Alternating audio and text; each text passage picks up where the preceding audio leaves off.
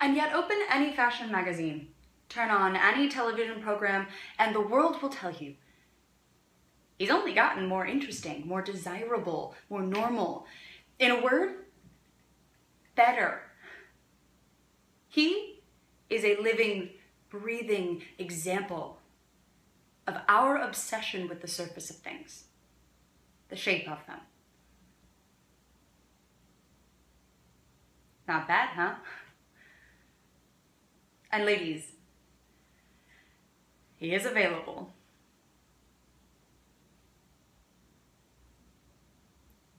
This was a startling and unexpected gesture, but obviously I can't accept. You can examine the stone and setting further when it is placed in the exhibit.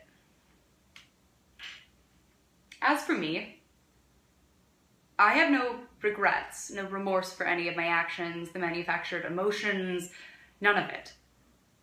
I followed the single and simple conceit, and I am an artist, nothing more.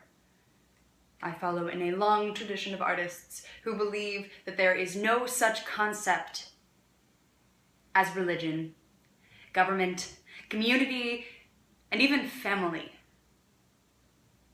There is only art. Art that must be created, whatever the cost. With that in mind, I present you with my untitled sculpture and supporting materials tonight. Thank you.